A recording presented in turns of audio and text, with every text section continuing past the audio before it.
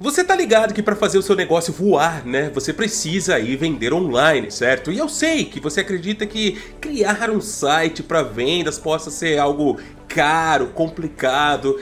É, na verdade até é, mas não aqui com o Pedido Digital, uma plataforma online que opera diferente de tudo o que você já viu por aí. Sem taxa de adesão, sem mensalidade, sem porcentagem nas vendas, muito fácil e simples de configurar, pessoal. Em questão de minutos, você já sai vendendo. É sério, minutos. E eu que não sou bobo nem nada, né?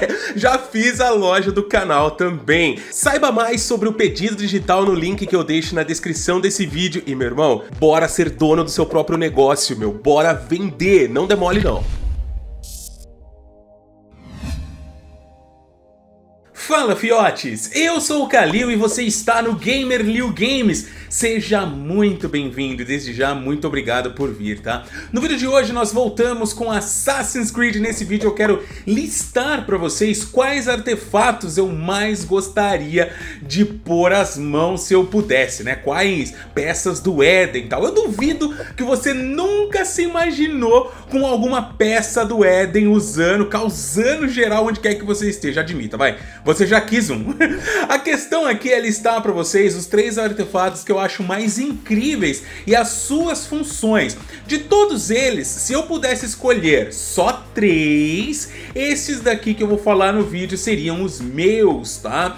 Lembrando que eu estou na BGS, esse vídeo está sendo gravado em antecipado, aliás, agradeço demais os maninhos que invadiram meu canal, né? Valeu, senhor auditório, muito obrigado, Dark Knight, vocês, mestre de lore, trouxeram, agregaram demais com esses dois vídeos aqui, ontem e anteontem aqui no canal também. Vejam os vídeos, quem não viu, tá? Dos caras manjam muito e vão lá se inscrever nos canais deles também.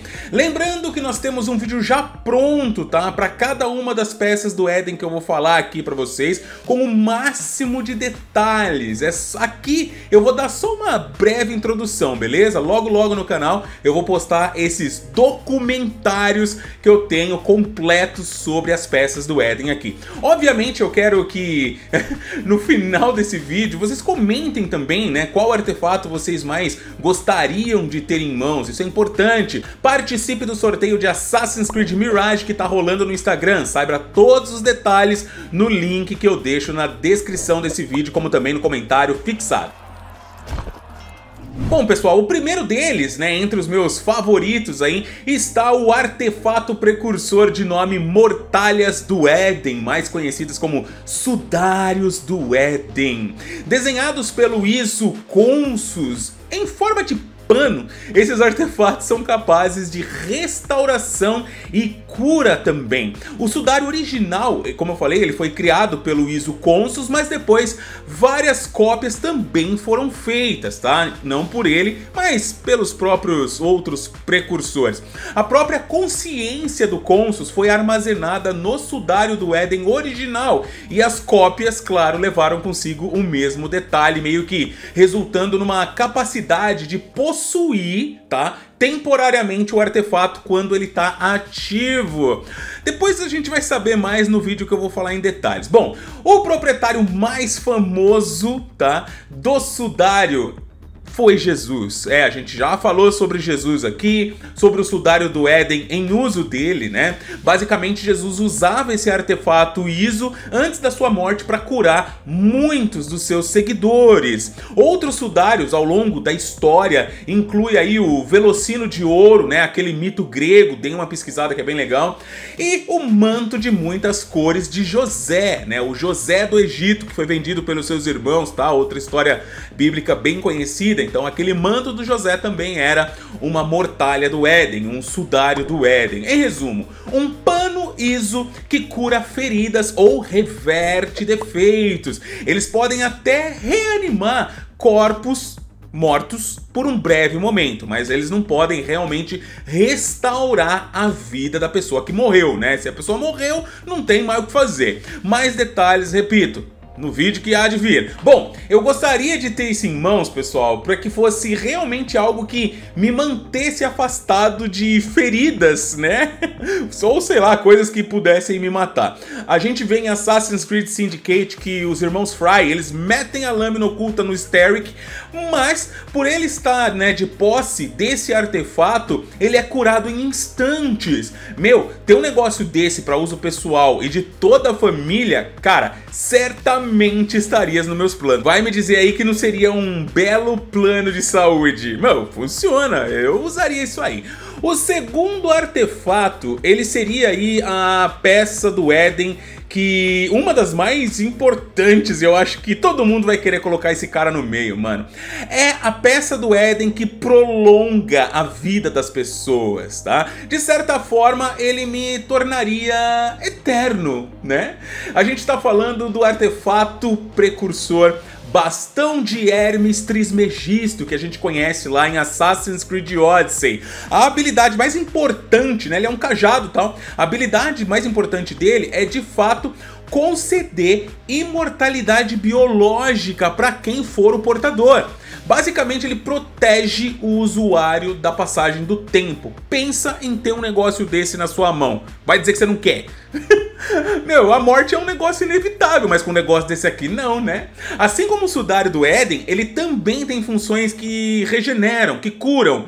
Quem terminou Assassin's Creed Valhalla sabe o porquê eu tô afirmando isso, né? No final do jogo, quando ele toca, ou melhor, quando um personagem toca nele ali e tal, algumas coisas ali acontecem, né? Então, com certeza, tá provado por A mais B que ele também tem propriedades regenerativas. Não se sabe, tá? Se isso funciona apenas para o portador declarado do artefato, quem vai cuidar dele ali e tal, ou se todo mundo que toca ele de alguma forma é curado, tal. Bom, na dúvida, é melhor eu continuar também com o sudário do Éden, porque por mais que eu tenha né, em mãos o bastão, pô, ele funciona para mim. A gente não tem certeza, como eu falei, com o funcionamento dele. Então, o sudário seria para ajudar os entes queridos em situações necessárias. Bom, já temos um artefato de cura e um artefato que nos dá imortalidade. Me falta um artefato para defesa. Eu preciso de um artefato poderoso que me ajude em momentos de possíveis batalhas, né? Eu acho que você vai querer um também, para descer o sarrafo em sem vergonha. Bom, existe uma porrada de artefatos que podem ser usados como arma de combate, que vão desde maçãs a cetros, lanças e espada. Mas depois de pensar bastante aí, eu acho que o meu gosto pessoal mesmo escolheria uma das espadas do Éden. Embora Valhalla, né, tenha aí trocentos cosméticos, né, de tudo quanto é jeito, é, confirmados nas suas inscrições como armas do arma do Éden, né? Peças, artefatos ISOs, tal, pá. É, existem apenas algumas dentro da lore que realmente foram confirmadas e criadas pelo ISO Hephaestus. Uma delas é a que eu acho que seria a mais interessante de ter, tá? É a espada que o Alexius usa como Deimos em Assassin's Creed Odyssey. O porquê que eu escolho ela? Bom, pelo simples fato dela não precisar de qualquer bateria, digamos assim, né, para funcionar, como é o caso da espada do Éden que a gente conhece, né, ah, lá com o Arnaud tal. Pra quem não tá ligado, a espada do Éden 25, né, o, o mais conhecida agora, a gente já sabe o nome dela, né, espada flamejante, a do Arnaud e tal, ela funciona com uma espécie de bateria chamada de coração. Não tá ligado no que eu tô falando? Se prepara que vem vídeo aí, tá? Você só precisa saber que aquela espada funciona como um carrinho de pilha, controle de Xbox, esse tipo de coisa que precisa de uma fonte de energia separada. Já a espada do Alexios não é dita em momento algum que precisa de bateria para funcionar. Então, eu tenho, né, eu tendo essa espada, eu tô seguro, um baita espadão independente, né, uma espada independente, cheia de poder mãos, cara. Existem outros artefatos ainda mais poderosos e que podem ser usados para combate, como eu citei agora há pouco, né? Mas com certeza o meu lance é mais aí espada, e eu acho que das canônicas, das mais conhecidas desde antigamente, eu ficaria com a do Alexios. Mas e você? Você teria a espada do Alexios, a espada do Artefato 25, um cetro, sei lá, mano, qual é? Engasguei. Qual é o artefato, ou melhor, os três artefatos que mais te chamam a atenção no sentido de caramba, eu preciso, seria útil para mim e de todos eles, esses três são os que eu escolho. É isso que eu quero saber nos comentários desse vídeo, beleza? Obrigado mais uma vez pelo carinho, pela força, um beijo no coração, um ótimo final de semana, até a próxima!